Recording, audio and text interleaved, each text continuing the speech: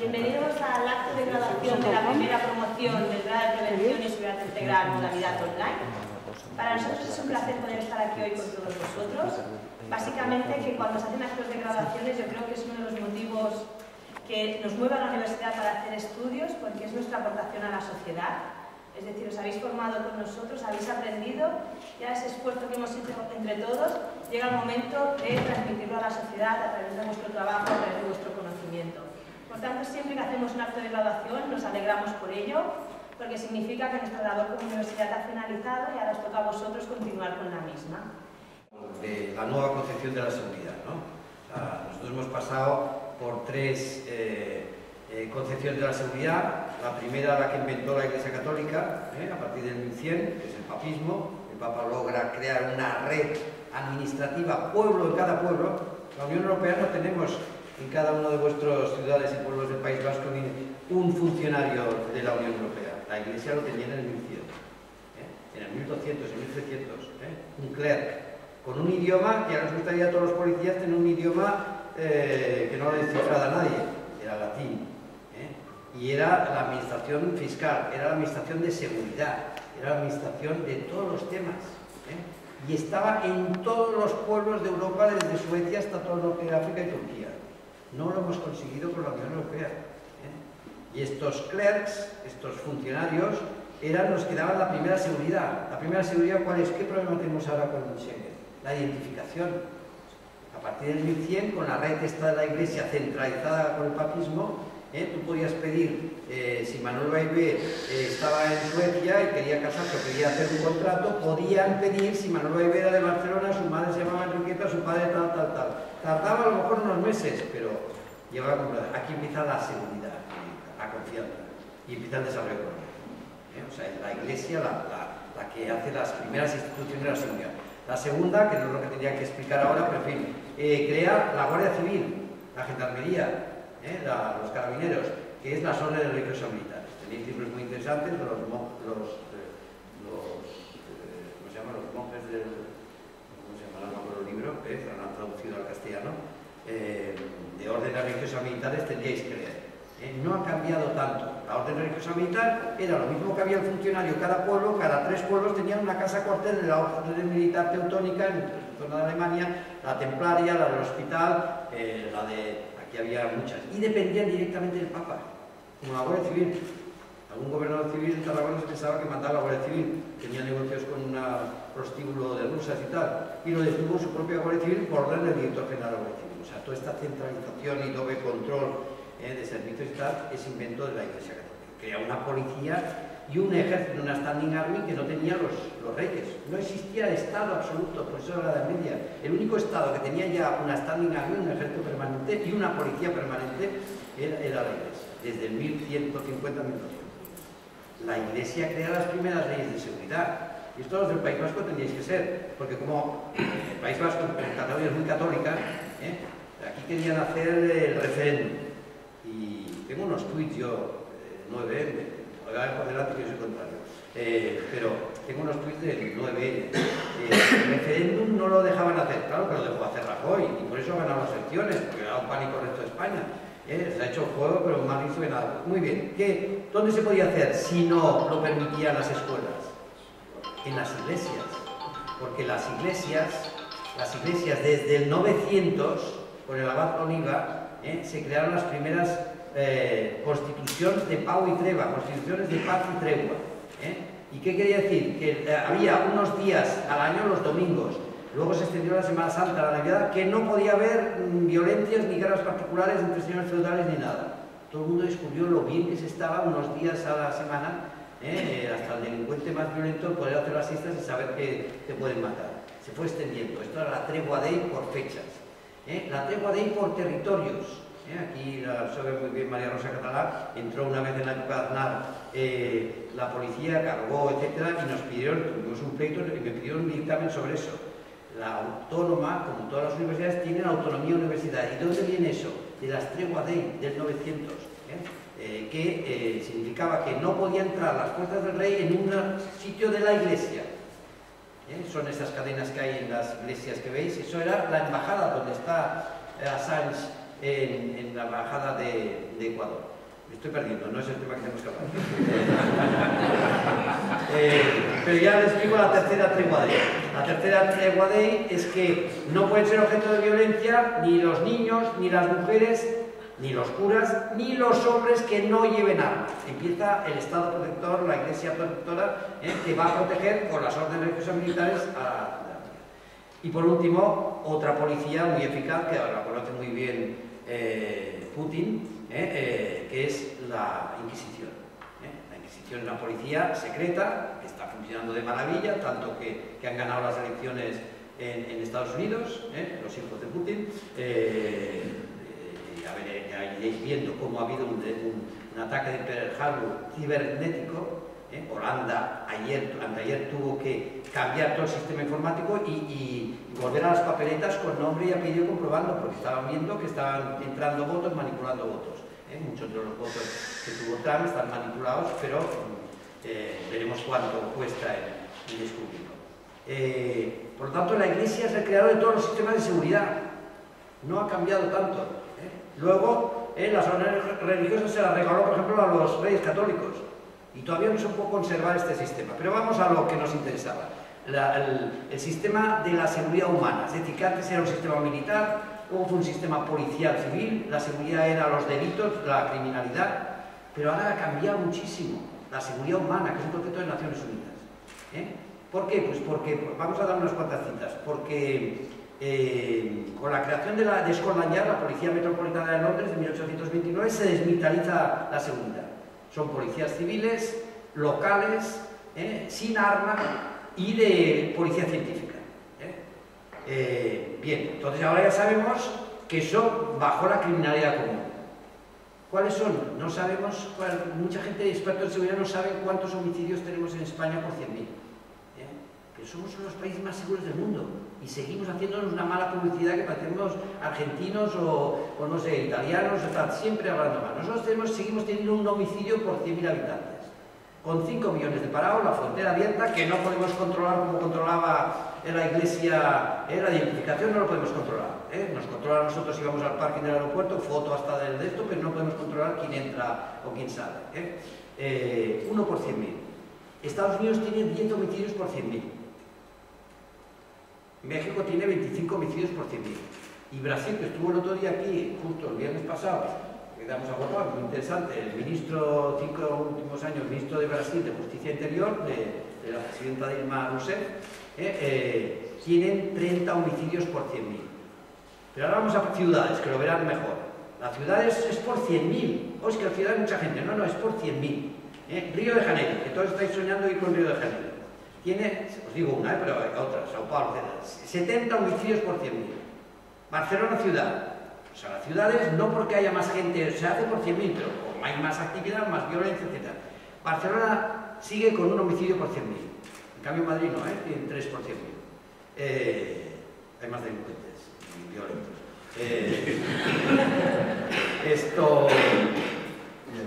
Bien, para que, para que vean una idea, todos soñando con ir a Río, a Carnaval, a tal. Por cada millón de habitantes que vive en Río, por cada millón de habitantes, mueren 700.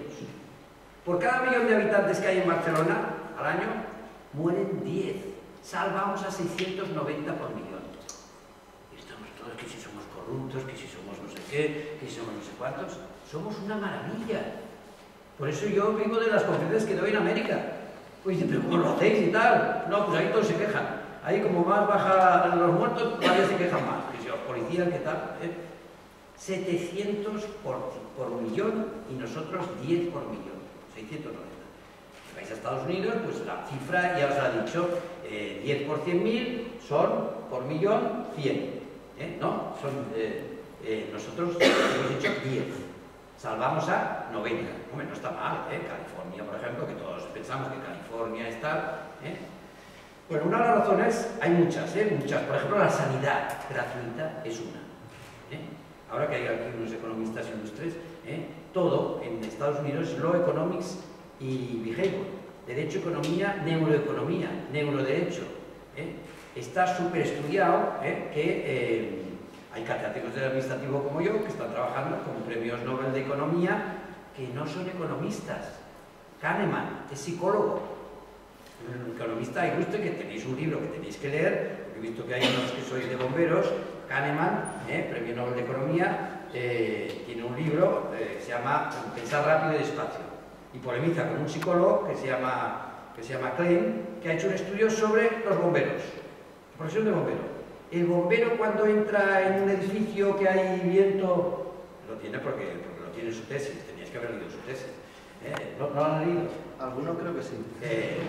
Lo, el bombero profesional cuando entra tiene intuición ¿Es una inteligencia o es fruto de la experiencia?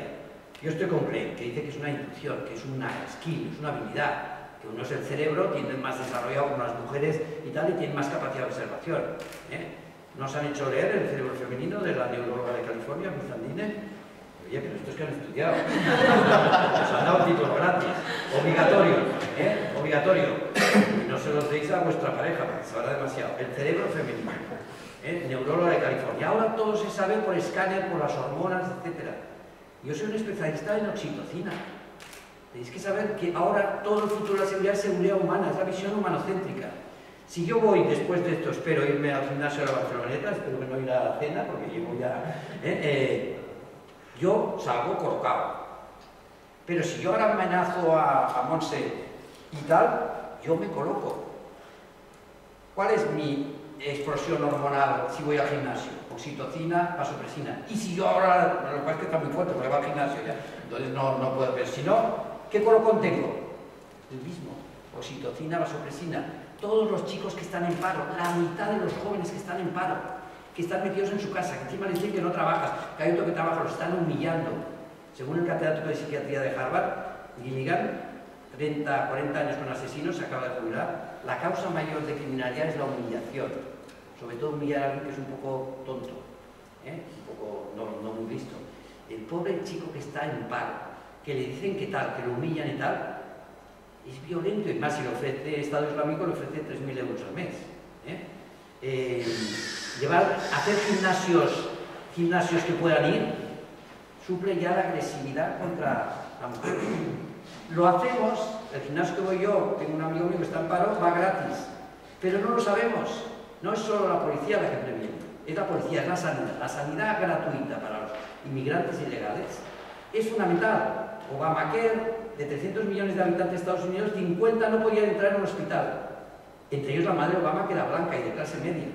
¿Eh? y no descubrió el, el, cáncer que tenía. Y cuando estaba muriendo, en el libro que también teníais que haber leído, si habéis hecho la carrera, es eh, Las memorias de Obama, en Los sueños de mi padre. Es un libro, uno de los primeros prevencionistas era Obama, era eh, organizador comunitario en, un barrio de, de, Chicago, hay una visita turística que se llama Southside, Southside, Harlem de Chicago. Por cierto, Chicago está con una subida de criminalidad violenta tremenda. Y ahí explica lo que hacía él en el, barrio de organizado comunitario. ¿Qué decía? Pues que morían más, empezaba a ser un EPSI, ¿eh? morían más por, amianto en los colegios y en los edificios que por todos los gángsters de Chicago juntos, Al Capone incluido. Empezaban a luchar contra el amianto, seguridad humana. ¿De qué te sirve que haya menos criminalidad violenta eh, de Al Capone si luego mueres 10 y 20 veces más por amianto. ¿Lo veis? Ahí empieza todo el desarrollo de una visión que viene de Estados Unidos de los activismos de la comunidad, de los movimientos de derechos civiles, etcétera, de ver eh, los riesgos para la salud y para la vida no provenientes de la criminalidad que ya hemos visto que hemos bajado mucho aquí. ¿eh?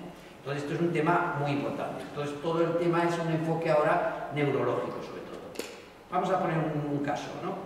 En, hai unha sentencia moi famosa en, solo digo 13 minutos en, en Muller versus Oregón 1908 na sentencia de la Corte Suprema Americana. El, el Muller contra el Estado de Oregón esta sentencia es famosísima porque por esta sentencia conseguimos, gracias a las mujeres no a todas las mujeres, a las mujeres activistas de 1905 porque la, Corte Suprema había dicho en otra sentencia anterior eh, que reguló el, el, Parlamento de Nueva York la limitación de horas de trabajo en las panaderías.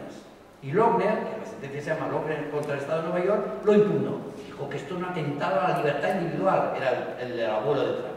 Esto es un atentado a la libertad individual, un atentado a la libertad de contratación, que si un trabajador quería trabajar 18 horas, que y tal. Y lo ganó, lo ganó. Dijo que no se podía regular ni por el Parlamento la limitación de las de trabajo. Y las mujeres en Oregón tenían una ley de limitación de las de trabajo en las lavanderías, ya sabéis que en Estados Unidos pensáis que todos tienen casa la lavadora y no, ¿eh? todos tienen la lavadora en la calle, ya lo sabéis, ahora está de moda aquí también. Entonces las mujeres impugnaron esta y no encontraban ni abogado. Pues pues si está la sentencia, eh, eh, esto a no ser que atropelléis a tres magistrados de la Corte Suprema, no van a cambiar. Pues sí que cambió, porque las mujeres, cerebro femenino, leeros el cerebro femenino, ¿eh? las mujeres tienen mucha oxitocina natural, por eso son tan valientes, tan perseverantes. Tenéis un libro fantástico que salía ahora, ¿Cuál es la inteligencia? Yo cuando estuve en, Harvard invitado de Visiting School al 86-87, eh, a mí no me hicieron examen, pero yo veía los exámenes de ahí, no, no eran los ríos de América. Pero a ver si es, capaz de subir tres veces el Himalaya o tener partos como tienen las mujeres. ¿Eh? La oxitocina les da una fuerza tremenda, una perseverancia tremenda, etc. ¿eh? Y esta es la, lo que pasó con Muller versus Oregón. Se empezaron a tal, el abogado que tenían fue un abogado muy importante, que luego fue magistrado de la Corte Suprema, asesor del presidente Wilson, y llevaron todas las condiciones de trabajo de la mujer en las empresas. Los niños correteaban por la fábrica porque no, no había tal.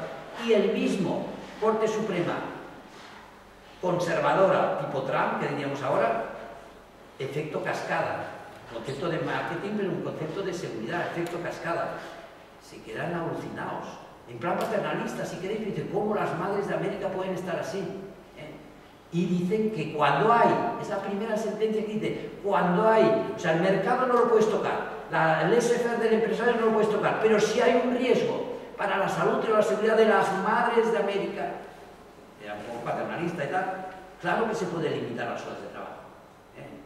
Y los, los hombres no, no, la teníamos. Tardamos 10 años en conseguir que los hombres también podemos tener riesgos a la salud y al trabajo. Ellas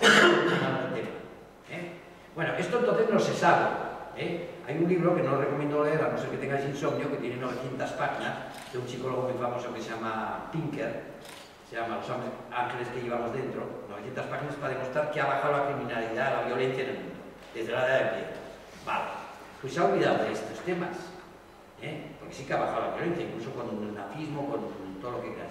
Sí que ha bajado, pero se ha olvidado de decir que Müller versus Oregón, la lucha de las mujeres que no apoyada por los hombres, ¿eh? que por factor humano, lo economics en behavior, hizo cambiar el comportamiento de los magistrados bajo la violencia. ¿Por qué? Porque ahora hay unos estudios neurológicos que tendríais que haber estudiado, pero claro, no me tuvisteis de profesor, eh, que es que si la mujer, los seis primeros meses del embarazo, los tres últimos no, los seis primeros meses de embarazo, está en el terremoto de aquí, o está aguantando una cláusula como esta, espero que no haya ninguna embarazo aquí delante, el niño, no la niña, puede salir con una esquizofrenia latente de tipo criminal violento a los 15 años. Esto está absolutamente demostrado. ¿eh? Desde, hace años. Mi mujer trabajó más los seis primeros meses que, que, los últimos. O sea, es un milagro que no haya más. Esto es claro porque esto no le pasa a las niñas. ¿eh? O sea, al reducir el trabajo de las mujeres por Müller versus Oregón, fue bajando el, nivel de esquizofrénicos paranoicos a los 15 años por el tema ese. Todavía no nos hemos dado cuenta de eso. ¿eh? Entonces, estos son los conceptos humanocéntricos, pero ya en todos los temas, en riesgos laborales, en, seguridad vial, etcétera, etcétera. Pero entonces el dato, porque ahora es que ya tengo que empezar, no, 18, todavía no. Oye, ¿qué pasado? Hemos puesto el más lento. Eh, yo me enrollo mucho, ¿no? Pero eh, yo creo que esto, claro, es muy interesante que, lo podáis leer. ¿eh? Está todo en, libros, no, no me estoy inventando nada. Eh, entonces, otro dato muy importante es el siguiente. las mujeres en todo el mundo, ya habéis visto los delitos en río, por cada millón 700 muertos. Y nosotros hablamos de 190. Pero en todo el mundo, incluso en río, las mujeres son el 50% de todo el mundo. ¿Cuántos delitos violentos y homicidios cometen? 50%. No, solo el 5% en todo el mundo. Solo el 5%. Cada día en el periódico te diga, todavía las mujeres siguen matando solo el 5%. El 95% matamos nosotros. Lo mismo violencia, cualquier tipo de violencia. ¿eh? O sea, lo ignoramos. Esa es la aberración más grande, es como tener una mina de oro y que no la quieres ver. por el machismo nuestro. Eh, bueno, yo lo aplico, yo lo aplico. ¿eh? A la gente le hace gracia, pero no, no es una es muy serio. Yo soy catedrático de hecho administrativo. Y solo hay un catedrático de hecho administrativo. Y tengo cinco profesoras titulares, los cuantos tengo, diez, ¿no? bueno, entre, entre, hombres y tal tengo diez profesores titulares. Son coroneles que cada mañana me preguntan cómo me encuentro. A ver si me muero ya, porque si no, no puede ser catedrático el que está eh, detrás. Pero yo como iglesias puedo ir a la estación de ferrocarril, solo tengo un 5% de riesgo que me empuja al ferrocarril Pero si voy con el profesor Padros, que lo mandé del letrado del presidente del Tribunal Constitucional, que tiene muchos méritos y tiene ya una edad que tenía que serlo, no voy con él ni a, ni a la estación de tren ni nada. ¿eh? Porque tengo un 95% de riesgo que me empuje. No es de risa, es absolutamente cierto. ¿Eh? Unos estudios en Minnesota de seguridad en las grandes superficies si pones una mujer a poder ser de unos 40 años, eh, que son lo que son las abuelas para los latinos, para los negros, etcétera, pues los tienen muy jóvenes y tal, si puede ser rebordeta mejor y tal y cual, y cuando ve una pandilla, ¿qué hace? Como que yo y tal, y ven a su abuela, a su abuela madre, que es la que les cuidó, y tienen un pacto ahí y todo va a funcionar. Esto está estudiado en el estado de Minnesota. Que me dice Fernando Fernández, es que los clientes nos piden Supermanes, eh, Schwarzenegger, eh, tal. Pues la seguridad va por la, por, la, por la vía femenina y por la vía de, de, no subir la violencia, etcétera, etcétera. Entonces, esto es lo que ha ido desarrollando eh, toda la nueva visión humanocéntrica y neurológica. 19 minutos, esto no, no va, no se ha parado. Se ha parado, se ha parado. 21, 21, 21 voy a poner algunas nuevas novedades sobre, sobre, sobre, sobre las causas de criminalidad. Ahora estoy hablando de causas de criminalidad. Ya os he dicho que la causa mayor criminalidad es la humillación, ¿eh? Acordaos. Pero vamos a ver una última causa ¿eh? que es medioambiental. Claro, medioambiental no nos preocupa tanto. Todos los Alzheimer y Parkinson son de temas medioambientales. Aluminio, plomo, mercurio, etc. Estáis todos todavía con los bocadillos de, de papel albal. Eso es fatal, ese aluminio que se está subiendo muchísimo. Pero como no te asesinan, pues ya no nos preocupa. Pero claro, en sentido lugar en la visión humanocéntrica de la seguridad. Pero vamos a uno.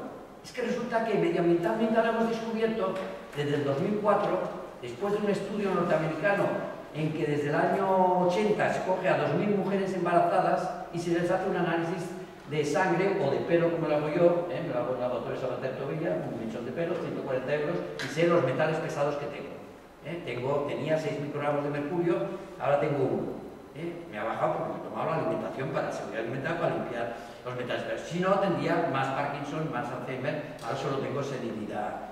senilidad, porque no puedo hablar. bien, ¿qué se ha descubierto con el estudio de Estados Unidos? 2.000 mujeres embarazadas, les hacen un análisis y ven que el plomo va al feto. Y las siguen 25 años.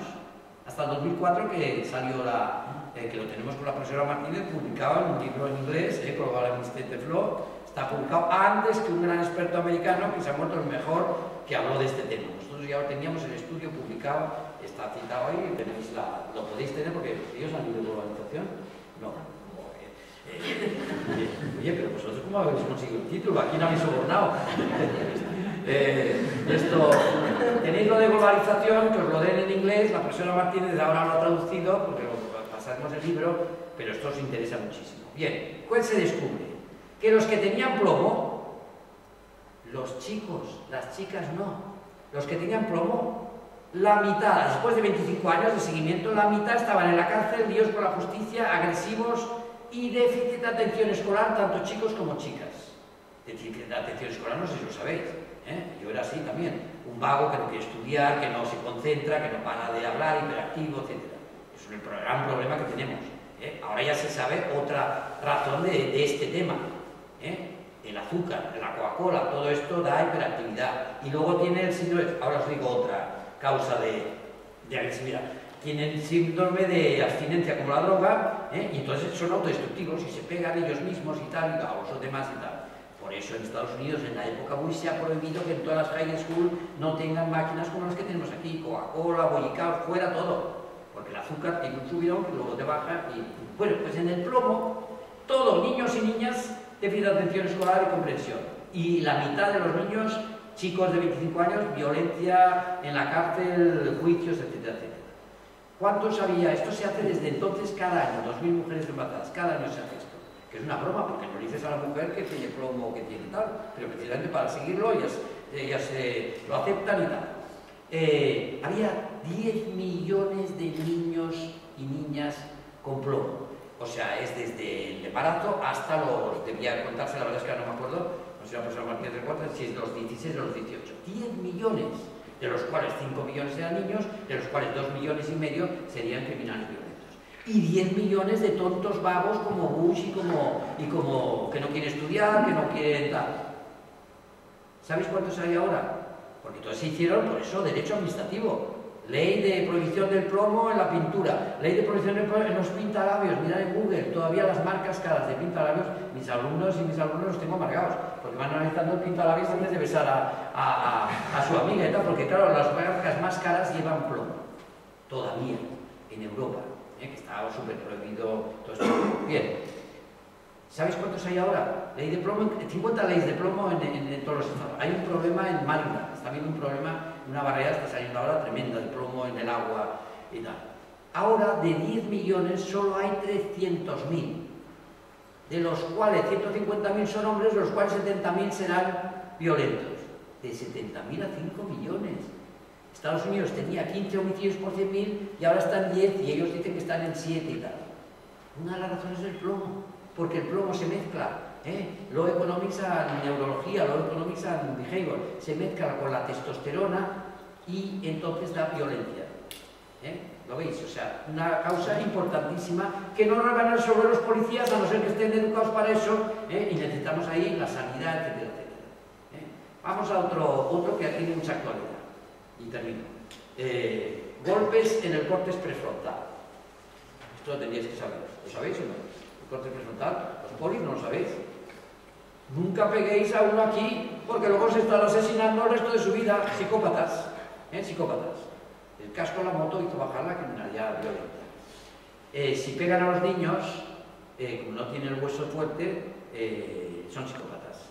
Esta zona es la de autocontención. No sé si aquí hay un... A nosotros nos invita, el catedrático de psiquiatría nos invita a, dar conferencia de Sabadell porque a los a los animamos, se dan cuenta que son chanchas y tal, y, es que no tenía sentido, te vienen todos los inmigrantes aquí porque es gratis, tal, y ahora nos damos cuenta que nosotros bajamos mucho la criminalidad. Porque claro, la pastilla para el esquizofrénico le da tal, aunque lo retiro, eso Rajoy, la pastilla para el esquizofrénico. Eh, yo me la tomo. Eh, golpes en el córtex prefrontal. Es la zona de autocontención. Esto es muy bien porque alguno ya tendría que decir, bueno, que acabe ya con este rollo. ¿eh? Ese es un psicópata. eh, esto... Tenéis una película de actualidad. Esto está estudiado por Raine, eh, un neurólogo americano, que tenéis solo un libro de hace muchos años en la del planeta que se llama Violencia y Psicopatía, pero de Raine eh, diferentes, de esquizofrenia crime, por ejemplo, eh, no está traducido, pero son súper interesantes.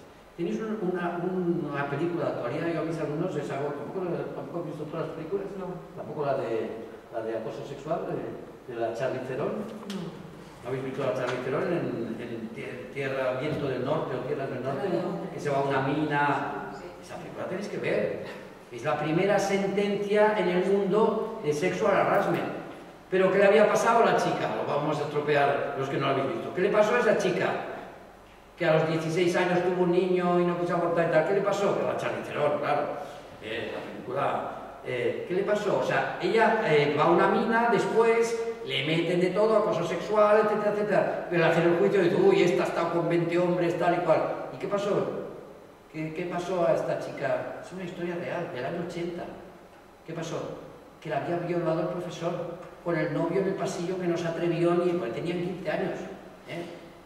O sea, se descubrió que había sexo en la empresa, pero encima había un tema que ahora hay un prevencionista, porque es la, la es la, la, violación y tal. En violación voy metiendo datos, no sé si, acuérdate que tengo que hablar con lo de...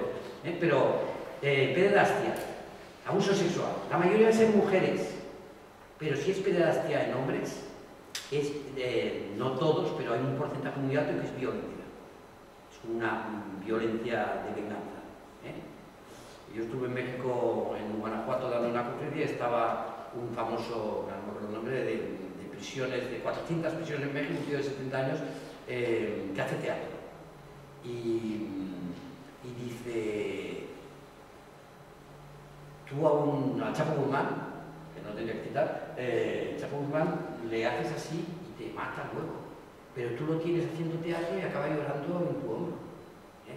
Entonces es un tipo interesantísimo. Iba con una también jefa de prisiones y me dice, cuando acaba, dice, ostras, dice, pero tú, ¿cómo sabes todo eso? Yo llevo 20 años en la prisión y tal y no, no sabía todo esto. Y dice, pero ahora entiendo porque yo tengo una presa, solo 5%.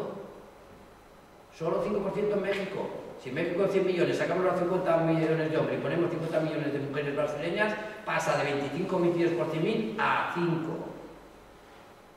Me estaría bien, porque bajaría la cosa y luego ya la arreglaríamos, iríamos arreglando, que entre poco a poco. Bueno, ¿y qué me dice ella? Dice, yo tengo una, una presa, solo 5%, insistimos, porque estamos todo el día que la, las presas, que las presas, solo 5%, en todos sitios. Tengo una presa que se dedicaba a despellejar vivos para la banda eh, criminal, espera Javier, y ahora lo entiendo lo que has dicho tú, porque la pederastia da violencia a los hombres, pero a alguna mujer también, 5%, ¿eh? y le encantaba despellejar vivo a los que le habían violado a ella su padrastro a los 13 años, lo mató a los 16 y tuvo que irse con una banda criminal para que lo protegiera. ¿eh? O sea, tenían que las mujeres despellejar más porque ya nos cuidaríamos que hubiera menos pederastia. ¿eh? Pero entonces la pederastia que en los hombres es violenta, en las mujeres se ha descubierto ahora, nueva concepción de seguridad humana, que la mujer que ha sufrido eh, abuso sexual, que sufren todavía pederastia, que sufren aquí en el Paseo Barnova, en colegios, el profesor de gimnasia, tal. Ahora hay un estudio, lo tenéis todo en Google, en inglés por supuesto, pero que se mueren, hay un porcentaje altísimo de crimen perfecto, que se mueren de infarto a los 40 porque lo han guardado, los padres también porque si no doble victimización y tal, y si no tiene un tratamiento que es muy, se cura muy fácilmente, se relativiza y se ha acabado y tal, tiene un, protocolo de pero si no va y tal, lo ha guardado, lo ha y le da el infarto. Esto es la nueva concepción de seguridad humana. ¿eh? Esto es lo conocido, que pensamos que todo esto no tiene nada que ver y todo tiene una interrelación. Y terminamos con el golpe prefrontal, podría decir más cosas de criminalidad. ¿eh? Eh, el golpe prefrontal ahora está de moda porque un médico película, la verdad duele. duele. ¿Habéis visto jugadores de rugby americanos? Pero oye, pero en el País Vasco, ¿qué hacéis? Pero ¿cómo puede ser? Una película que tiene un Oscar y todo. Una historia real, una historia real. Un médico de África, negro, pero es de África, y llega a Estados Unidos y el tío, en plan gallito, debería ser como Listuri, ¿eh? se pone a, ver que hay muchos jugadores de rugby que se suicidan, que matan a la mujer, que matan a, los niños, ¿eh? tal. Uno se suicida y se pega un tiro al corazón y dice, quiero que mi cerebro lo investiguen. Y entonces, ¿qué descubre? Que el prefrontal con casco. ¿eh? Prefrontal está destrozado. Y por lo tanto, lo que le pasa al de Brasil que mató a su hermano y a su cuñada y al niño es que no me podía contener. El que mató, una experta aquí en armas, el que mató a los dos guardias jurados, hace guardias forestales, es que no me podía contener pues un golpe el corte prefrontal, que puede ser tal, y no, no se puede contener. ¿eh? Total, que ha tenido que dar mil millones la Federación Americana de, de ¿cómo se llama? De rugby, ¿eh? Eh, claro, es el fútbol americano, ¿no? Eh, tenido que Pero, ¿qué pasa? Muchos se han retirado. Famosos futbolistas tipo Messi han retirado y dicen, no, es que yo sé que, que acabaré matando a mi mujer y tal. Tenéis una sentencia del mes de julio, lo ponéis ahí, han condenado a 20 o 30 años a un jugador de rugby americano y tal. Lo mismo el boxeo, ya sabéis los boxeadores que conocéis. ¿eh? Pero no lo vamos a prohibir, ¿eh? no vamos a prohibir el fútbol americano. Pero todo... Hay una política en Barcelona de, si hay que llevar casco en la bici. Es que casco hay que llevar hasta en el fútbol. Piqué, ya veremos si un día lo mata a la Shakira porque tuvo un golpe en el corte prefrontal como el otro día, el del Atlético de Madrid. El asesino del País Vasco, profesor de yoga, ¿conocéis el caso? Muy famoso en Estados Unidos, que han descubierto que tenía el asesino, ¿qué han descubierto que tenía? ¿No lo sabéis? Chacha, ¿Chaña o chancha? Ya no sé cómo es. Una cosa es la persona y otra cosa es el cuerpo. Joder, esto me tenéis que dar una clase. ¡Ey! ¿Qué se ha descubierto? A ver, aquí algún poli. ¿Qué se ha descubierto? Que tiene un tumor en el córtex prefrontal. El libro de Rainer de hace años explica que un padre de familia con dos niñas y tal, de pronto empieza a abusar sexualmente de las niñas. Lo meten en la cárcel y tal, pero descubren que tiene un tumor en el córtex prefrontal con un golpe que le presiona y no puede contenerse. Le extirpan el tumor y vuelve a ser normal. Esto es la seguridad humana, esta es la nueva concepción de la seguridad. Todo tiene una relación, etc. Entonces esto el problema es que, claro, las juezas de Guatemala, que conoce muy bien María Rosa Catalá, que una está exiliada en Harvard, ahora está en Washington, porque derrocó al presidente, al general eh, Otto Pérez Molina y a la vicepresidenta que era su amante, y no puede estar con sus hijos en Guatemala, porque se la carga. ¿eh? Eh, ¿Por qué lo decía esto?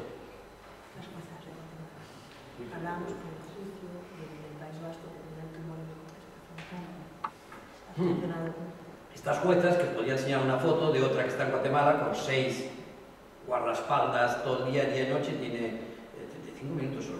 Eh, en mi caso 5.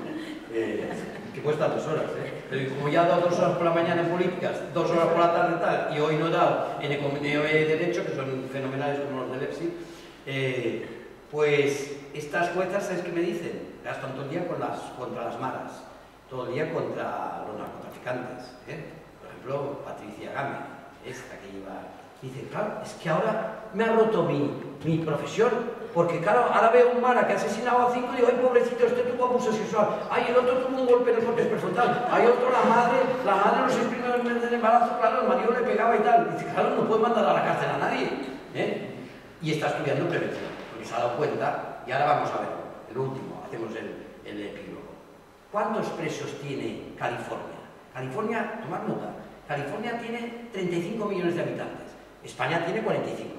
California tiene 150.000 presos, o sea, dividir eh, los 45, cada 10 millones tiene, eh, a ver, si lo hacemos bien, cada 10 millones tiene 50.000, cada 12 millones, ¿no? Tiene 50.000, o sea, 10, 35 millones, poner, vamos a poner 30 y 40. Eh, 50.000 por 10, 50.000 por 10, 50.000 son 35 millones, 150.000. ¿Cuántos tendría que tener España, que, que- que somos 45.000? Pues 150 más 50.000 más, por estos 10 millones más. Tendríamos que tener 200.000. ¿Cuántos tenemos en España? California, el avance, todo, Hollywood, eh, todo, lo que queráis. El sitio paradisíaco para vosotros. Nosotros solo tenemos 50.000. Ellos con tre- 10 millones menos tienen, por cada 10 millones o 12 millones tienen 50.000. Nosotros tendríamos que tener 200.000. Tenemos 150.000 menos. Y no, no protestamos, no, no nos alegramos. ¿Cuánto vale un preso? Un preso, a mí me robaron un móvil, estaban aquí unos parlamentarios argentinos, estaba fuera hace años y viene una chica, eh, iba a decir rumana, ¿eh? Ya lo he dicho, pero claro, aquí ya todos, todos, yo veía aquellos callejeros y decían, la culpa es de los romanos, la culpa es de los romanos. Y pensaba, ¿y ¿los romanos quiénes son? Y los romanos. Bueno, se acaba de morir el premio Nobel de Economía Kenneth Arrow, que le dieron el premio Nobel de Economía en, a los 50 años, se ha muerto a los 90, y sus padres además eran rumanos que se morían de hambre, ¿eh? y se fueron a Estados Unidos, premio Nobel más, de más prestigio. Eh, Steve Jobs, que vuelva al tema, ¿eh? porque ya me por otro lado. Steve Jobs, ¿sabéis cómo se llamaba Steve Jobs? Lo sabéis, esto ha salido en todos los periódicos. Steve Jobs se llamaba Mustafa Abdullah, su padre, sirio musulmán, refugiado en el 51 a Estados Unidos porque era nacionalista tal, se lo iba a cargar y se vaya. Se pone a estudiar con una chica, tenían muy poca edad, la chica era norteamericana, católica, de origen suizo-alemán, ¿eh? y tienen un niño que se llama Steve Abdu- Abdullah, ¿cómo se llama? Ahora no me acuerdo el apellido, totalmente musulmán.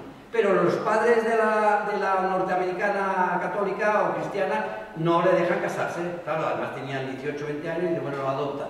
Queremos que lo adopte una familia que estudie universitaria. No la encuentran y la adoptan unos que se llaman yo, que él es son muy buena gente y que es conductor de ferrocarril. O sea, los Steve Jobs que estamos perdiendo por, vamos a otro. WhatsApp. WhatsApp, estamos utilizando. otra vez las madres.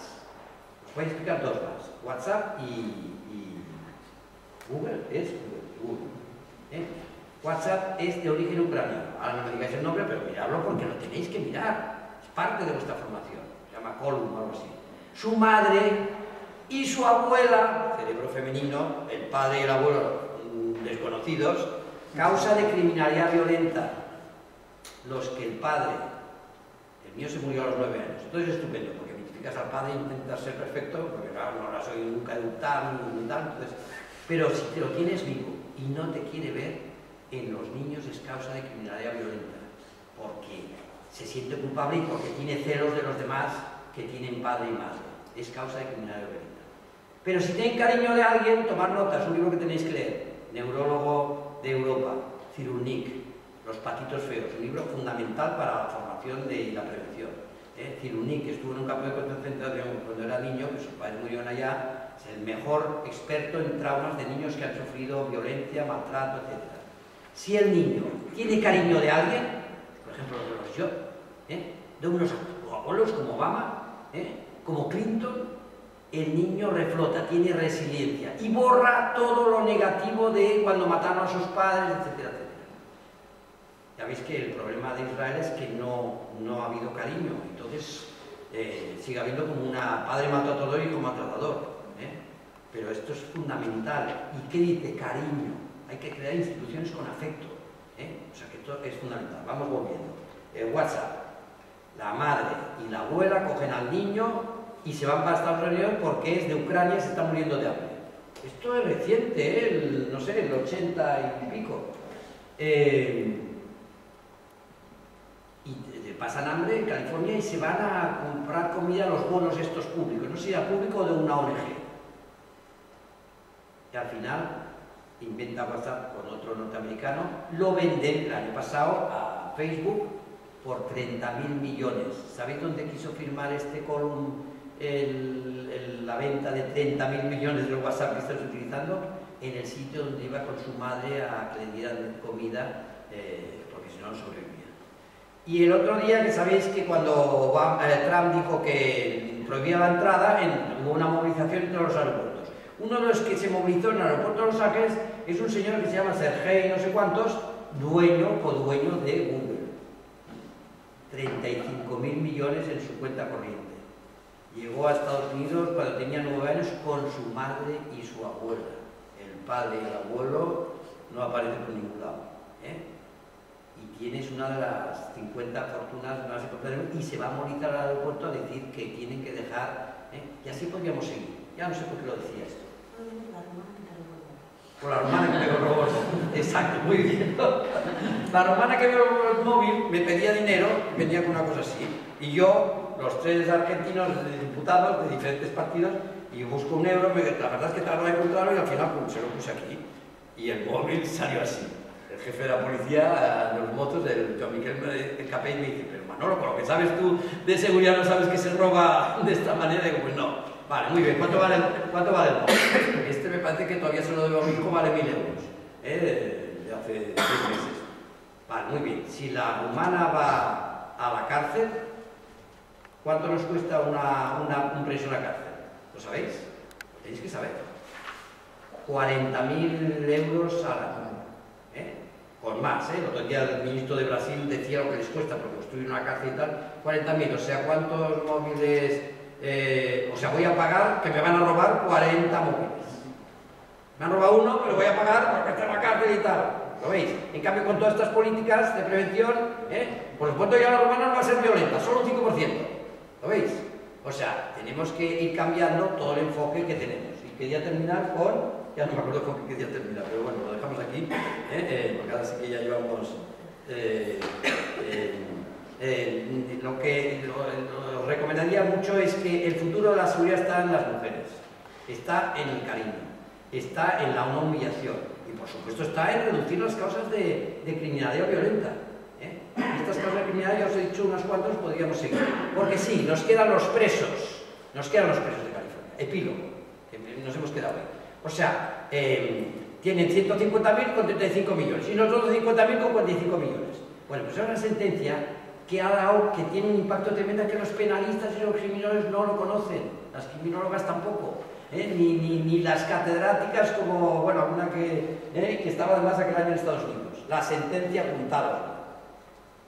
Brown, que es el gobernador de California, ¿eh? es un pleito que lleva años. Antes era Schwarzenegger versus Plata, contra Plata. ¿Y qué ha pasado ahí? Pues que California, que tiene 150.000, o sea, ahora os digo el número para que entendáis. España tiene 100, apuntarlo, 140 presos por 100.000 habitantes. Estados Unidos tiene 740 presos por 100.000 habitantes. Cinco veces más cárceles, cinco veces más funcionarios de prisiones, eso sí, hay el trabajo para... Cinco, veces más CSI, por eso, claro, los del CSI todos se van a apuntar a criminología, pero de cada 10 que estudian CSI, criminología y criminalística, nueve se quedan sin trabajo, por eso tenemos un cadáver, no 10 por 100.000 como tiene Estados Unidos. Habrá que matar gente porque si no, no se realizan. Nosotros no necesitamos especialistas en cadáveres, nosotros más especialistas en lo que España está triunfando, que es la prevención. ¿Lo veis? Y todos a, a criminalística. ¿eh? Vale, o sea, cinco veces más de todo esto. ¿eh? Imaginaos el precio. Bueno, entonces Brown versus Plata es porque un señor que ha sido condenado eh, por tres años, eh, eh, California tiene una ley que si strikes te vas a la cárcel por, por diez años. Eh, tres robos y tal a la cárcel. Por eso tiene más. Pero lo tiene todo Estados Unidos. Cinco veces más. 140 por 740 por 100.000. No porque Estados Unidos sea más grande, por 100.000 habitantes. Vale. Eh, para un preso plata es que dice, aquí eh, condenamos a este preso a tres años y lo han violado, no hay asistencia sanitaria en la cárcel, eh, no hay gimnasio, hay la foto de la sentencia Brown versus Plata, ponerlo, veréis que la Corte Suprema Conservadora hace unas fotos detrás. ¿Qué os he dicho del gimnasio? ¿Os acordáis? Pues el gimnasio en la sentencia está llena de literas porque no pueden ni hacer gimnasia. O sea, se están todos matando en la cárcel y matando a los carceleros. ¿Y qué dice Brown versus Plata? Es de 2000, eh, estamos en el 17, esto es 2000, a la verdad que hace seis años. Que eh, el gobernador Brown, el Estado de California, tiene que sacar 50.000 presos en cuatro años. Porque no se cumple la, la, la, pena que se había señalado, que no es la pena de muerte ni la pena de, morirse por inasistencia y tal. O sea, cuando ellos saquen 50.000, si el se supone se aplica en España, no se quedan impresos, porque quedan 10.000 más, porque tenemos 50 más 10.000. ¿eh? Y ellos les quedan todavía 100.000, les quedaría los 100.000. Es decir, ¿cuál es la ventaja que tiene Brasil? Terminamos con eso. Que estuvo aquí el ministro, que no sabía los datos, no sabía los datos ni los suyos. Oh, es que todas las cárceles, lo que están regalando, están... ¿Pero qué dices? Si no tenéis presos, casi. Por el número de homicidios que hay. A ver, si nosotros por un homicidio tenemos 140 presos por 100.000 y Estados Unidos por 10 tienen eh, 740 por 100.000, Brasil que tiene 30, ¿cuántos presos tiene que tener? Pues multiplicar 740 por 3. ¿Cuánto es? 3 por 7, 21. Tendría que tener por 100.000, 2.000. Deja ya los restos, 2.000. ¿Sabéis cuántos tiene Brasil? ¿Cuántos tiene México? 200 presos por 100.000. 90% de impunidad. Y dicen que están las cárceles llenas, pero tío, pero te has enterado. Digo, míralo en positivo. Esto al, ministro que puede ser presidente, ¿eh? ¿cómo se llama? Que no me acuerdo, Eduardo Cardoso. ¿eh? Puede ser presidente porque, porque tiene las condiciones y no está de corrupción y nada. Yo le digo, oye, míralo en positivo, sí, porque claro, están todos. Míralo en positivo. ¿Qué le pasa a Obama si quisiera, si quisiera hacer políticas de prevención, como estamos hablando? Eh, sanidad gratuita para todos, gimnasios, tal. ¿Qué pasa? Que no lo puede pagar, no lo puede pagar la primera potencia económica porque tiene cinco veces más presos por 100.000 y multiplicando lo que era, 40.000 por preso. Pero Brasil los tiene todos en la calle. Solo se trata de que todo el dinero que no gastáis, los 2.000 por 100.000 que no gastáis, no os lo metáis en el bolsillo. Invertir en prevención, invertir en sanidad, invertir en mujeres. Una última cosa que me olvidado deciros. Nosotros tenemos un policía, también en el País Vasco, un policía cada 200 habitantes de todos los policías de Guardia Civil, Policía Nacional, etc. Y también los Guardia Civil que tenéis ahí de paisano que pensáis que no están, pero que están, ¿no? Como aquí cada un, un policía cada 200 habitantes. Estados Unidos un policía cada 300. ¿Sabéis lo que significa esto? Que en España, si fuera Estados Unidos, tendríamos que reducir 75.000 policías. Escoger Guardia Civil toda, Policía Nacional toda, o toda la Policía Municipal.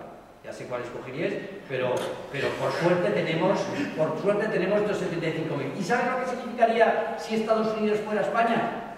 300 millones de habitantes tienen 700.000 policías locales, que son los que hacen toda la investigación criminal, 100.000 autonómicos, 2.000 por estado, 50 estados, y 100.000 federal. Uy, federal, pues la FBI no hace nada, son solo 25.000. ¿Sabéis cuántos policías son todos? 900.000. Si tienen un policía cada 300 y nosotros, ¿cuántos policías le faltan? 500.000 policías públicos. Ah, porque son 300 millones y tal. Y quieren ser el del mundo, pero si no tenéis policía dentro, ¿cómo vais a mandar fuera? ¿Eh? O sea, para que veáis la ventaja también de tener más policía, menos militaridad. ¿Y cuántos tiene Brasil? Un policía cada 400. O sea, suprimir toda la Policía Nacional y toda la Policía Municipal. Bueno, hasta ahí no podría probar. ¿Eh? Y eso tiene al final un resultado económico. ¿eh? Brasil, dos, 12, ya termino, 12 meses de, de, verano. No, no, perdón, porque claro, es que... Es que eh, ¿A qué hora empezado? 50 minutos. Eh, terminamos, terminamos ya, terminamos. Brasil, 12 meses de verano, un continente de playas. ¿Número de turistas extranjeros?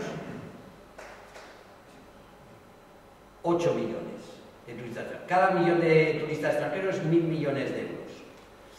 La economía sumergida mmm, es el 25% de toda la economía.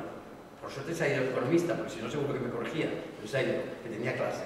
Eh, pero en, el turismo hay más chiringuitos, tal, más economía sumergida, un 35%. ¿eh? O sea, mil millones más la economía sumergida. 8 millones de turistas.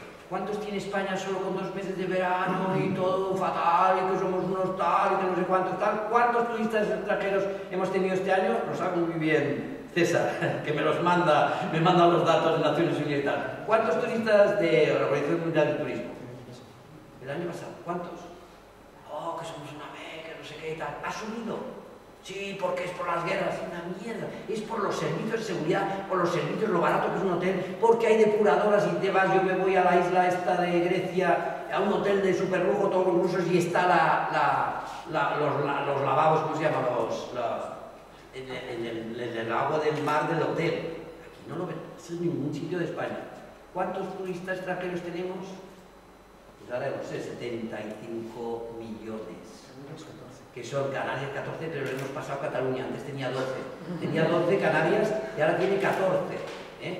Y nosotros tenemos 17 ¿eh? millones, hemos pasado turismo cultural, etcétera, seguridad en todos sitios y tal. ¿Cuánto significa esto en nuestra economía? El 10% del PIB. ¿Cuánto es esto? 100.000 millones de euros, incluido la economía sumergida. Eh, nos pide el ministro que afortunadamente va a dimitir ahora de la Troika, el Disselholmen, ¿eh? El de la Troika de Holanda, que hace, que permite que pague Zara los no impuestos en Holanda, que ha tenido un beneficio de 3.000 millones, tiene que pagar por derecho societario 1.000 millones, no los paga aquí, tampoco los paga allá, le soborna al Dieselholmen, el hombre que hace la política de la Troika, con Merkel, ¿eh? le pagan ahí 50 millones, 100 millones y tal, y no paga los 1.000 millones. Eh, ¿Por qué lo decía? Lo del Dieselholmen. Eh, por lo del turismo, por lo del turismo se ha descubierto que ciertas multinacionales, todas las que compramos, Apple y tal, no pagan, eh, pagan en Luxemburgo. Que nuestro presidente de la Comisión Europea no paga en Luxemburgo el 30% de impuestos societarios. Ahí pagan solo el 1% y luego el 6% al, al, al presidente de la Comisión Europea. Ganamos 100.000 millones y este año 110.000 millones. Sí, Dieselformen nos exige que paguemos para contención y austeridad de 3.000 millones este año. Hemos ganado hemos pasado de 100.000 millones a 115.000 millones este año de turismo extranjero gracias a la seguridad, gracias a vosotros, gracias a las profesiones y tal. Por favor, os recomiendo ya tres o cuatro libros neurológicos que yo, yo era muy pesimista, ¿eh? pero tengo unas profesoras que, aparte que ah, me preguntan cómo me encuentro, pero, pero son muy positivas. ¿eh? Os recomiendo libros ¿eh? como Grit, se llama, no está traducida, que hay que traducirlo inmediatamente. O sea, la gente inteligente es positiva. Pero es que nosotros tenemos que ser positivos porque con 5 millones de parados, con la frontera abierta, sin controlar y tal, no suben los homicidios. Y en cadena no suben las violencias, no suben tal. ¿eh? Encima tenemos la millonada de turistas, y encima nos quejamos que no puede ser, que yo voy por el Paseo de Gracia y choco con la gente. No, hay que reducirlo esto, tal. O sea, estamos en este plan. Somos una maravilla, a ver si nos damos cuenta, y esto ha sido gracias a generaciones, generaciones, a pesar de la corrupción, de la corrupción de arriba, porque los polis de abajo, el índice de corrupción de la poli es mínima. Es imposible que no haya nada. Pues tampoco reconocemos a la policía ¿eh? que teniendo todos los políticos que justifican que ellos sean corruptos, no lo son. ¿Eh? O sea que, tanto, la visión esta de seguridad humana, la visión humanocéntrica, la, la mujer en todos sitios, porque es el ejemplo de no violencia, etc. y los mayores también, los mayores no cometen, los hombres no cometen eh, delitos violentos no más que el 5%, los abuelos, a no ser que se tomen Viagra, que da violencia, Viagra da violencia, si queréis saber cuál es la Viagra natural, leeros un libro del Premio Nobel de Medicina, que también doy a la clase, y entonces sí que me piden que siga alargando la conferencia, pero no os lo voy a explicar porque a las mujeres no les interesa el libro del Premio Nobel de Medicina, que lo tiene César, que nos van a procesar porque lo han escaneado, claro, ¿eh? pero es también una causa de criminalidad, porque la disfunción sexual la impotencia ¿eh? y la humillación a veces de ah, que se te levante tal es causa de criminalidad.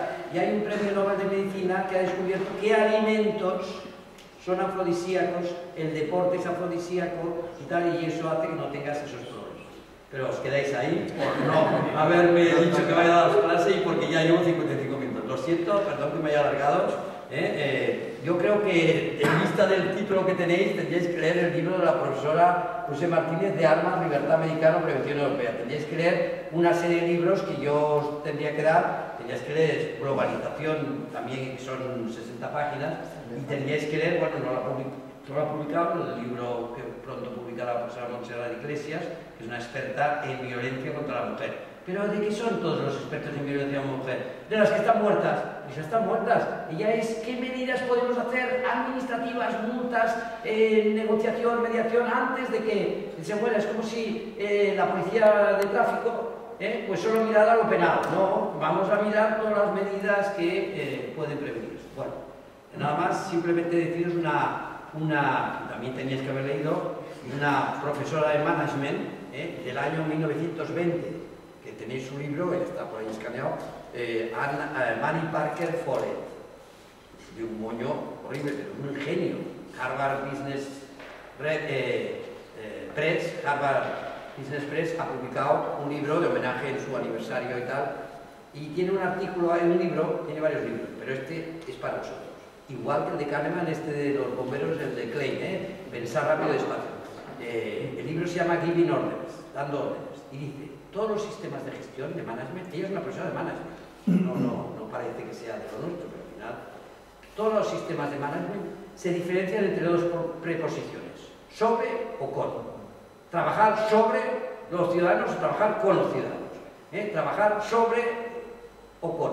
¿eh? El reto de todas vuestras profesiones, como la nuestra, es trabajar con. ¿eh? A pesar que nos ponen aquí encima y que nos deja hablar ni un minuto.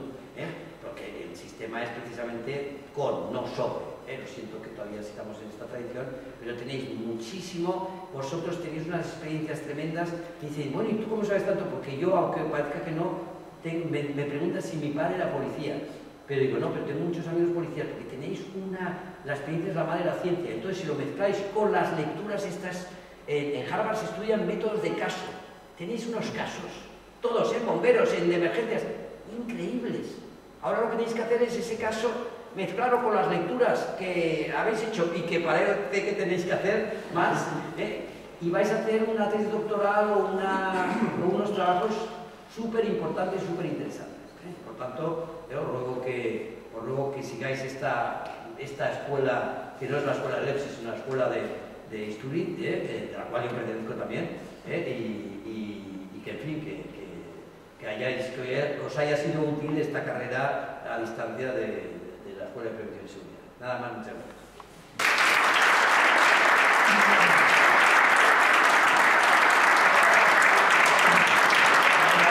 Tiene la palabra el doctor Sturi, que nos explicará la razón de ser de esta promoción y uno de los promotores más activos de la modalidad online del grado de prevención y seguridad integral. Buenas tardes, Arracha León. Buenas tardes a todos. La verdad es, Manuel, eres brillante. Se hace años que te conozco. Y siempre te explico lo mismo. Y es que, no, no, que va, que va, que va. Yo a veces pienso, me va a decir lo mismo, pero es que no hay manera, es que cojo apuntes, coño.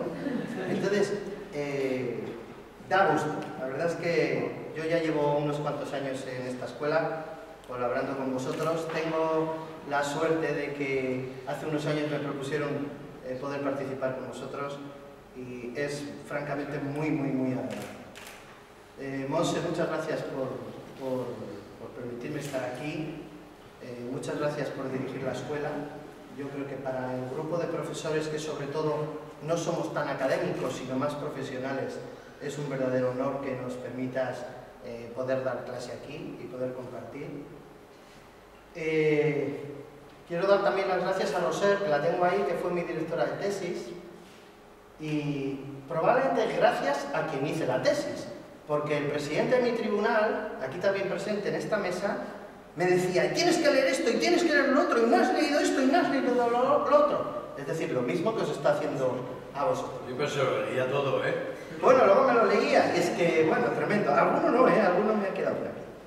Bueno, dicho esto... Yo, yo se lo decía porque entonces venía a mi casa nos íbamos a comer ahí a la playa y tal, y entonces hacía venir mucho para que leyera mucho para que me invitara a comer. Y yo tenía que ir en bañador y con papel y boli para tomar apuntes, si te acuerdas, ahí en tu piscina, entre otras cosas.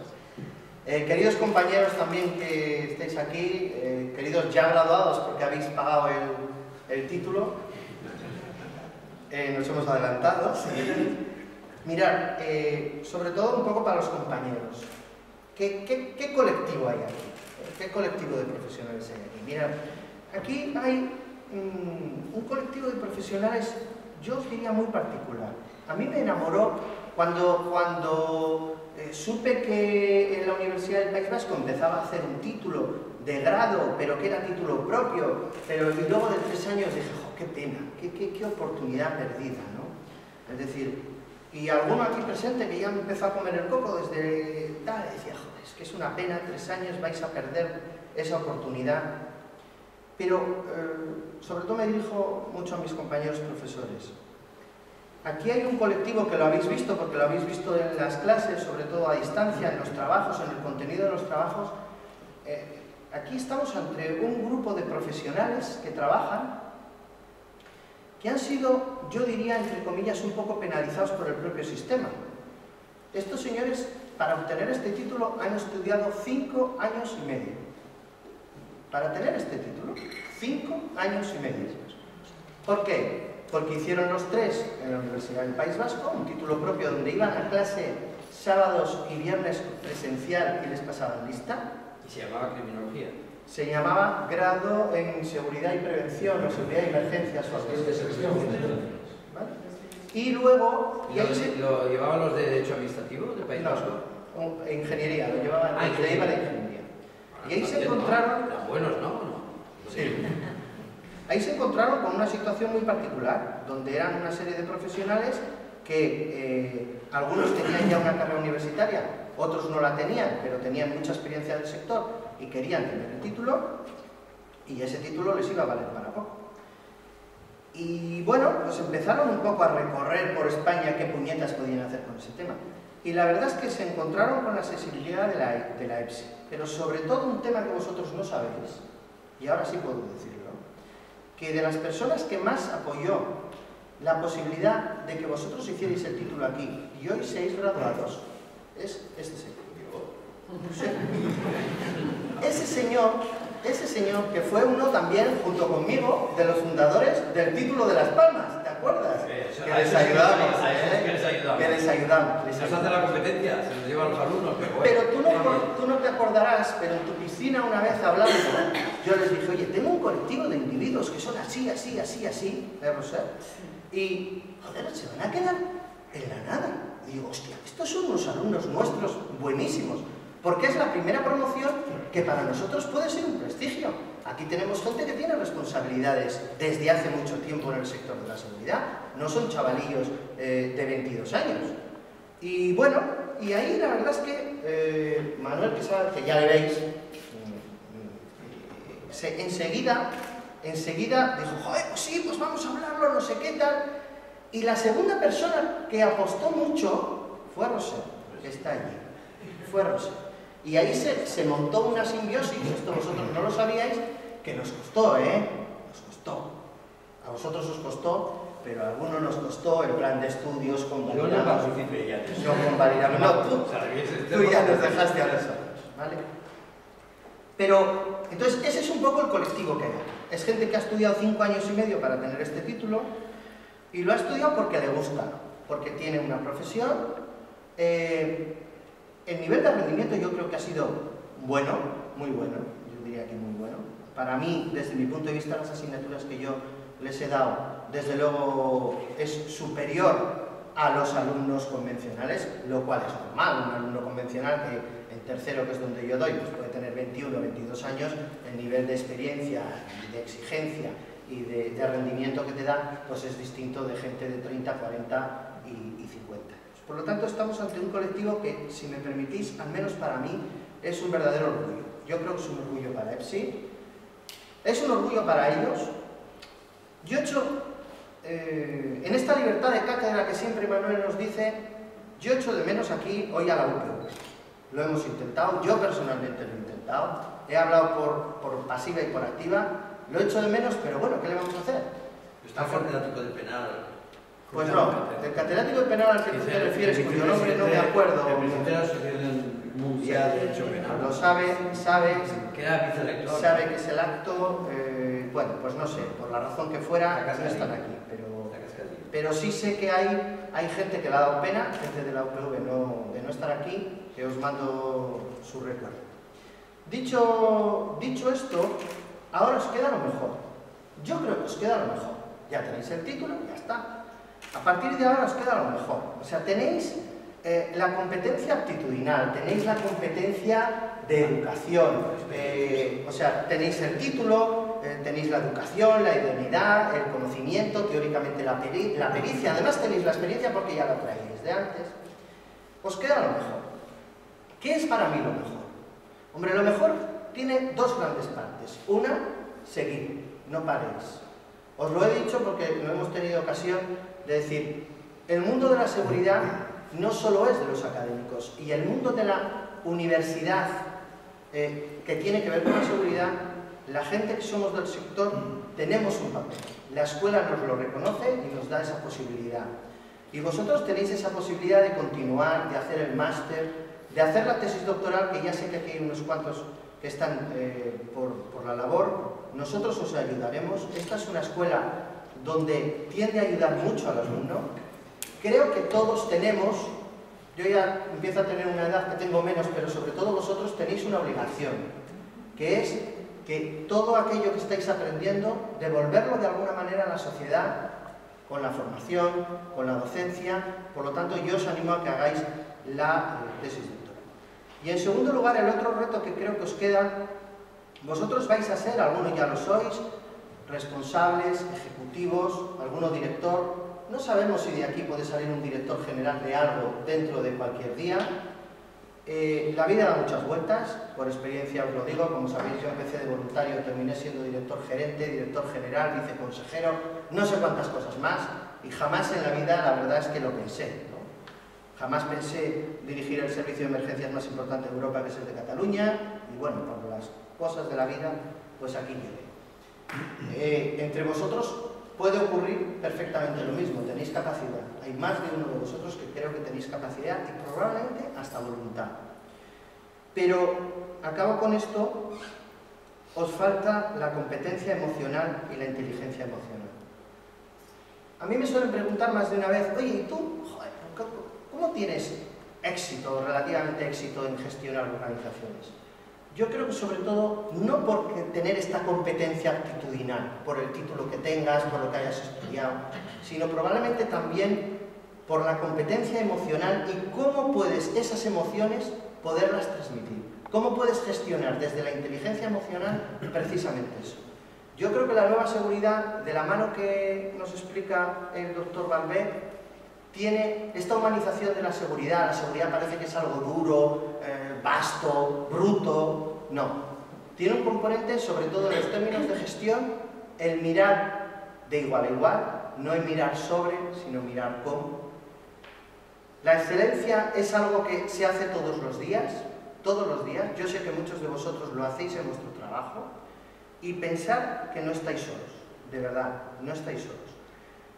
Eh, por último, creo que todos tenemos una obligación, que es recordar a un alumno de la UPV que hizo el título de grado con, con ellos y fue uno de los que junto con Picho, Hilario y alguno más, más eh, me insistían en que al, pudiéramos hacer algo con la UAB mm, para que hoy, el día de hoy fuera posible. Eh, me reuní una de las veces con él en una gasolinera, eh, cuando ya si, os ibais a matricular. Primero, si recordáis, fue duro. Fue duro porque ellos tenían un cierto grado de incredulidad. De, no me sale la palabra, de incredulidad. De incredulidad. ¿Por qué? porque acababan un título que de alguna manera se consideraban, lo voy a decir, casi estafados. Y tenían mucho miedo.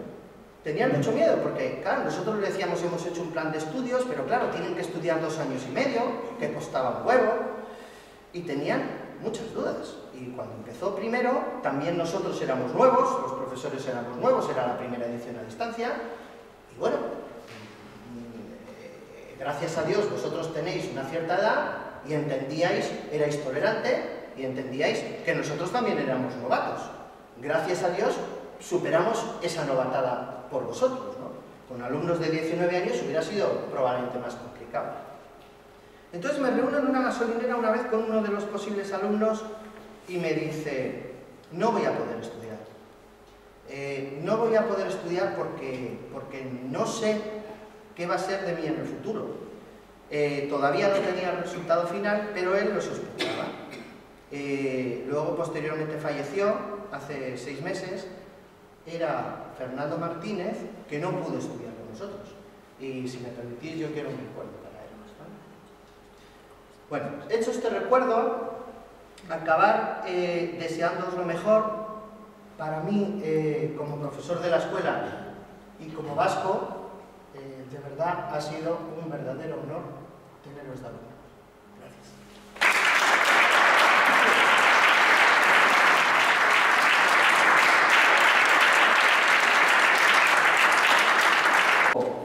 Vamos a decirlo así, esta penúltima P, como las copas, nos, va, nos cuesta reconocer que es la última.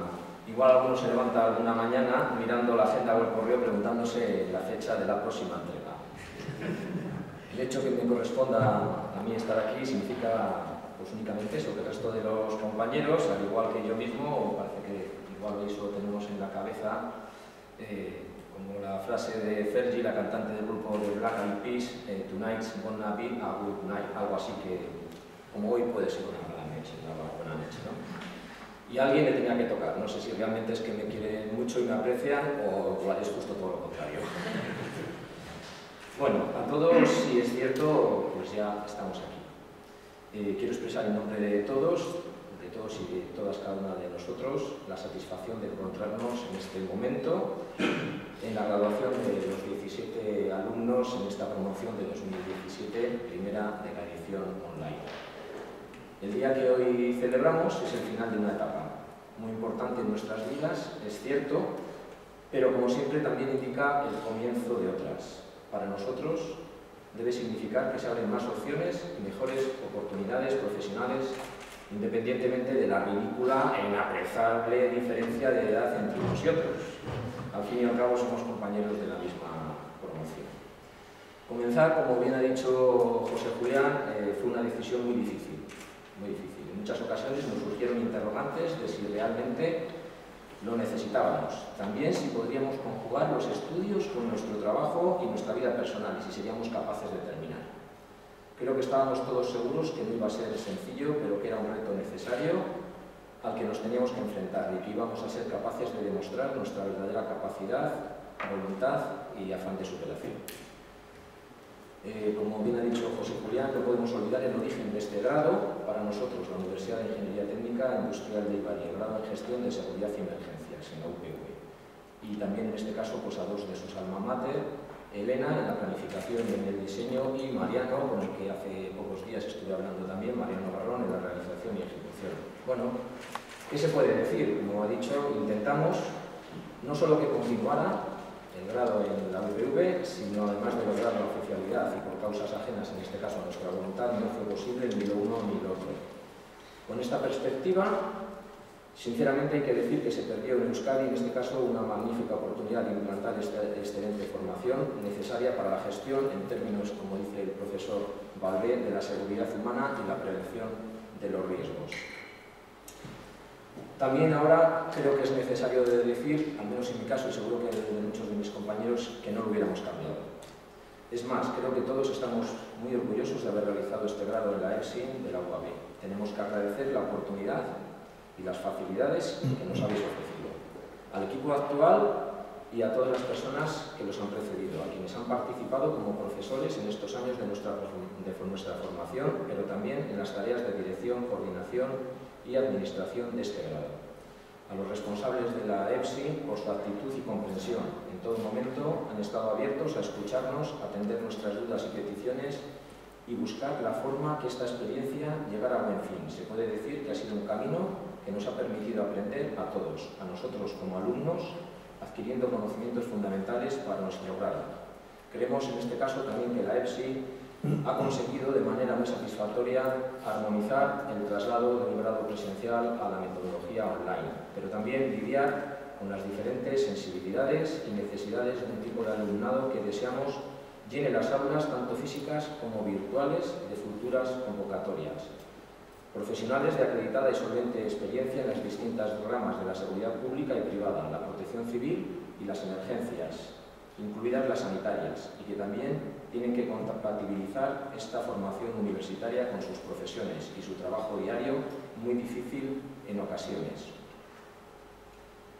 Hemos tenido la suerte de contar con excelentes profesores, extraordinarias personas que nos han sabido introducir en su ámbito de sus amplios conocimientos teóricos y en ocasiones prácticos a través del descubrimiento personal, la investigación y el trabajo en equipo. Sin duda ha sido un privilegio compartir con ellos esta experiencia. Gracias a la actual directora, Montserrat, a César, a Joaquín como coordinadores, a José Julián Isturiz, a quien en ocasiones hemos también llorado, yo creo que todos lo sabemos, eh, nuestros problemas por su cercanía, también en este caso geográfica, también pues, a otros profesores y, gestores anteriores que nos han facilitado mucho desde los inicios.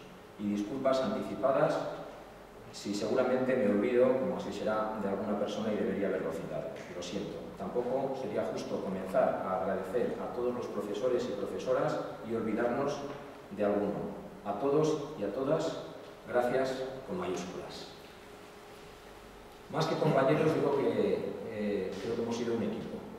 Solo la unión del grupo y las excelentes relaciones que mantenemos y que trascienden del compañerismo a la amistad personal ha hecho posible que ahora todos nosotros y nosotras nos encontremos aquí. Este grado ha sido el resultado de un trabajo en equipo. Evidentemente cada uno se ha esforzado individualmente, pero tenemos claro que el apoyo mutuo ha sido constante. Nos hemos desahogado en los grupos de WhatsApp, en las quedadas en la biblioteca, hemos compartido apuntes, hemos intercambiado constantemente opiniones y consejos. No hubiéramos podido llegar aquí a Barcelona este viernes sin el soporte que ha supuesto este grupo. Algunos tendremos la orla inseparablemente unida al título. Sin las fotografías y nombres de todas y de todos de cada una de las personas que aparecen en la orla, este título no existiría. No puedo dejar de acordarme, como ha hecho José Julián, de una persona que inició este camino con nosotros y con el que acudí a la primera reunión en la EPSI, Fernando Martínez de Igarduya. Antepuso, en este caso, los problemas de salud familiares a realizar este grado y, desgraciadamente, su enfermedad nos lo llevó hace tres meses. Seguro que ahora, desde donde nos está viendo, sonríe y nos está enviando una felicitación. Hemos aprendido mucho con esfuerzo, con dedicación, con motivación y con fuerza de voluntad. Creo que somos, por qué no decirlo, un grupo de buenos alumnos, pero mejores profesionales, excelentes compañeros y extraordinarias personas. Hemos aprendido a compaginar los estudios con nuestros trabajos, muchas veces exigentes en turnos, en fines de semana y con nuestras obligaciones y responsabilidades hacia nuestras familias, parejas, hijos, el hogar, gracias a todos y cada uno de mis compañeros, de mis compañeras. En este caso también creo que es obligatorio hacer una mención especial a la familia, como decíais algunos de, de vosotros, viendo en los telediarios la reciente noticia de un, de un, profesor universitario al que se le cuelan los hijos en su despacho cuando estaba en una videoconferencia en directo en la BBC, no podemos dejar de recordar alguna de nuestras WebEx. Por ello, también quisiéramos dedicar este grado a nuestras familias, sin su ayuda, comprensión, incluso su capacidad de aguantarnos, posiblemente muchos de nosotros no hubiéramos llegado a esta línea de meta. Es necesario mencionarlas de manera explícita, porque el tiempo que le hemos robado nunca se podrá recuperar. Muchos hubieran querido estar aquí, con nosotros, porque también parte del mérito les corresponde. Solo las obligaciones laborales, familiares y la distancia no lo ha hecho posible. Bueno, de los amigos no voy a decir nada porque seguro que como un anuncio siempre hemos sacado 10 minutos para tomar una cerveza con ellos. Y creo que bueno, pues ahora es momento de pensar en el futuro, momento de pensar en los desafíos y las oportunidades. Creo que es necesario, en este caso, realizar una solicitud formal, pues en este caso a las universidades, a las diferentes administraciones, estatal, autonómicas, locales, para realizar una apuesta firme y decidida y potenciar los estudios relacionados con el ámbito de la prevención, la seguridad integral, la gestión de riesgos, la atención de las emergencias, la protección civil. Este Estado está muy huérfano de formación oficial universitaria que regule estos sectores. Es, es imprescindible que los dirigentes y los técnicos sean profesionales competentes, con habilidades suficientes y formación adecuada para liderar los procesos de dirección y coordinación. Si la seguridad de las personas es lo primero, nos lo tenemos que creer realmente. Nelson Mandela dijo la frase, no puedes estar preparado para algo mientras secretamente crees que no pasará, pero creo que todos coincidimos también en otra fase. Es mejor estar preparado para algo que puede que no suceda a que suceda algo para lo que no estamos preparados. Me recordaba uno de mis compañeros una frase de Pedro Anito en una de sus webs, las catedrales no la hicieron los arquitectos. Es cierto que en Euskadi, al que se ha referido también en este caso José Julián, ya existen gestores de seguridad y emergencias y muy buenos algunos por cierto, pero ahora nos unimos a ellos, este grupo de personas formadas y tituladas oficialmente para ayudar a realizar esta labor. Toca luchar para que en un futuro, esperemos muy próximo, los responsables de las decisiones demanden que las administraciones e instituciones se provean de estos profesionales. Este viaje, este viaje, por tanto, no termina en Barcelona, acaba de empezar y aún queda mucho camino por recorrer. Muchas gracias, muchas gracias, Minesker.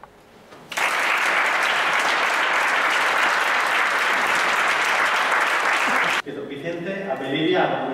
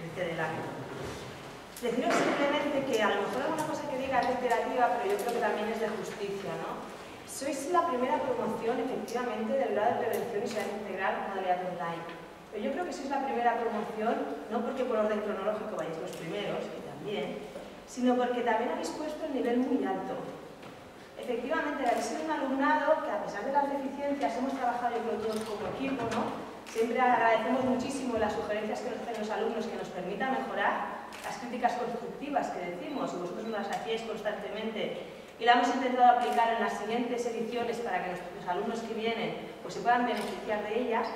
Pero el problema en este caso es que habéis marcado tan alto el listón, ahora todo el profesorado nos dice, es que los, los que vienen de es que estos alumnos no responden. Están acostumbrados a vuestro nivel de participación de foro, a vuestra aportación de ideas, a vuestra aportación de debates, cara, pues llaman los profesores y nos preguntan qué le pasa al alumno. Y ya, para anticiparnos, para prevenir todas estas preguntas de los profesores que nos llaman, pero ¿funciona la aula MUDER? ¿Saben cómo funcionan los debates y por qué no participan? A las reuniones de profesorado, cuando decimos, mira, se inicia un nuevo, curso de la modalidad online, decimos a todos, no son los vascos. Es decir, no penséis que os van a escribir las navidades, los fines de semana, que es cuando ahí vosotros aprovechabais a trabajar, ¿no? Aquí, por desgracia, a veces decimos que son navidades, tenemos vacaciones. Madre mía, pues es modalidad online. El perfil de un alumnado online, en sí mismo, para que vaya bien el grado online, depende el 80% del alumnado. De que sea un alumnado que quiera aprender, de que sea un alumnado de que tire del profesor. Nosotros no tenemos que tirar de vosotros, tiene que ser al revés. Y en vuestra promoción se ha dado. Es lo que os explicaba, en contrapartida el profesor nos hemos acostumbrado a eso. Y ahora, las que vienen después no lo son. Y el profesor nos dice, oye, pero revisa que todo funcione bien. Nosotros decimos, no, no, es que funciona bien, pero no es nuestra promoción, ¿no? Por tanto, aparte de que sois la primera promoción, precisamente por ese listón tan alto, también os lo tenemos que repercutir a nivel práctico, ¿no? Cuando nuestros alumnos se gradúan, normalmente un perfil mucho más joven, efectivamente, que les queda todo su futuro profesional por realizar, siempre les deseamos que ojalá encuentren el trabajo que ansían lo, lo antes posible. Vosotros precisamente tenéis ese trabajo que nuestros alumnos quieren. En ese sentido sois unos privilegiados, ¿no? Os habéis formado después, ya tenéis lo que todo el mundo quiere profesionalmente y por suerte el grado de vuestra formación, vuestras ganas de querer más, os permitirán mejorar o por suerte ya tenéis ese cargo que os permite tomar decisiones de gestión. Y lo que sí que os pediríamos es que todo lo que hayáis aprendido en el grado, que mucho ya venía de origen efectivamente, lo trasladéis al ámbito práctico. Porque sí que es cierto que tiene que haber una demanda por parte de la ciudadanía, por parte de los políticos, pero el profesional tiene una gran labor por hacer y es preguntándose si lo que existe hasta ahora es lo correcto y si no es, lo tenemos que cambiar. En el mundo de la seguridad siempre se ha abogado por la mega especialización y precisamente lo que hoy necesita la sociedad son los profesionales de seguridad multidisciplinares con una visión de la seguridad humana. ¿Para qué? Para cuestionarse lo que ya estamos haciendo y mejorarlo. Aquellos que ya tenéis aquel cargo que os permite cuestionar y aplicar nuevas metodologías, hacerlo. Hacerlo, porque como siempre dice el doctor Bailé, mm, el iPhone no se hizo en un día, ¿no? Porque hablamos siempre de la teoría del ensayo y el error. Tenéis que innovar en nuevas políticas de seguridad. Algunas funcionarán y otras no, pero como mínimo hemos intentado mejorar. Que yo creo que es lo que vosotros habéis hecho en este grado. Ya tenéis los estudios, ya tenéis el trabajo, ¿y por qué más? Pues por mejorar. Y muchas veces habéis demostrado lo que es un profesional de la seguridad. Son personas solidarias que trabajan por los demás. Estáis aprendiendo para mejorar, para trabajar mejor. Y al final los usuarios, los ciudadanos, son los que nos beneficiamos de vuestra inversión. Entonces yo creo que es de recibo agradeceros este gran esfuerzo. Pero también me gustaría, como bien ha dicho el doctor Isture, que esto no se acabara aquí, bien ha, destacado Bicho, ¿no? que fuera el principio de, de futuras tesis doctorales. ¿Por qué? Porque tenéis un conocimiento práctico, una experiencia que los académicos no tenemos y que la necesitamos también. Por tanto, empezar a pensar en vuestras futuras tesis, que aquí tenéis para ayudarnos, para, estamos a vuestra disposición, y porque cuanto más sepáis vosotros, mejor funcionará la seguridad y mejor irá el país. Somos uno de los mejores países a nivel de seguridad, es gracias a los profesionales que, como he dicho, altruistamente dan todo lo que saben. ¿no? Vosotros os formáis, vosotros habéis pagado la carrera, nadie os ha ayudado y lo habéis hecho simplemente por mejorar y mejorar el servicio que todos recibimos. Por tanto, muchas gracias por vuestro esfuerzo espero que todo lo que hayáis aprendido se traslade al ámbito práctico, que estoy que segura que sí. ¿Bien? Y por último, me gustaría agradecer, porque todo el mundo que me conoce sabe que para mí el primer año de dirección tuve el proceso de acreditación, que fue duro. Al final fue muy bien, pero fue duro, ¿no? Y tengo que hacer el, agradecimiento a título personal, porque yo llamé a X personas, venís, buenos vascos, buenos alumnos de la EPSI, ¿qué día y dónde estamos, no? O sea, y vinieron, y vinieron, sí, sí. Cogieron un avión y un coche de alquiler, creo, ¿no? Tres personas que están aquí, sí, sí. Y ahí hablaban y les decía, mirad, ¿no? Luego en la comida decíamos, es que estos alumnos quieren ser policía y nosotros ya lo somos, ¿no? Decían, estamos en esta situación de privilegio. Pues por tanto, eso, que esa situación de privilegio se traslada servicio público. Muchas gracias, muchísimas felicidades y agradecer a todo el mundo que ha venido hoy, y especialmente a nuestros compañeros que están detrás de la cámara, de pie, a Georgina, a José, que muchas veces están en ese sector tan secreto, al del WebEx, efectivamente, que controla que todo funcione que nos, bien. a, nos acordamos continuamente de su familia. Por tanto, muchas gracias a todos por venir, por hacer el esfuerzo de desplazaros y espero, ahora simplemente os invitaremos a un pequeño pica pica y que sea este el principio de una gran amistad. Gracias.